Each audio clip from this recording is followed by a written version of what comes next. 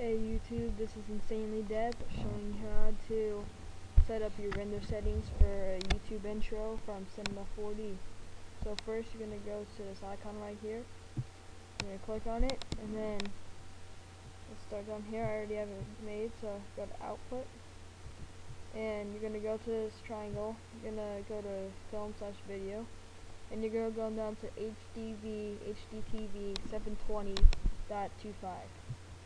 and it should have preset settings. You can make your resolution a little bit higher, but you need to go down here, set the frame rate to 30, and then you're going to set the frame range to all frames, and then after that you're going to go to save and choose where you want to save to. I have it set to where all my intros stay then you go to format. And anything under this line right here is where you want to choose a option. You don't want any of these. These are all pictures. And then that's done for that one. You go to anti-aliasing and you're going to choose for anti-aliasing. You want it to be on best not geometry.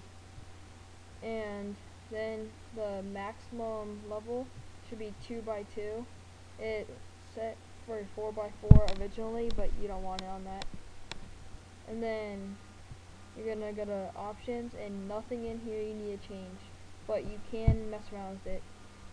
Then you're gonna go down to settings and you're gonna save your preset and choose what you want to save as. Mine's already saved.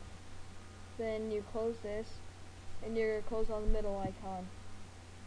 And if you do it, it's going to start setting up a setting. It's going to go through and it's going to render your video and wherever you saved it to, for instance, I'll go to where mine's saving to right now. Mine is off my desktop. Hold on guys. Give me a few seconds to go find it.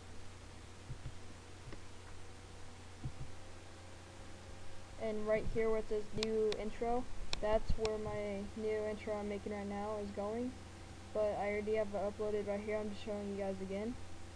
So thanks for watching. Subscribe please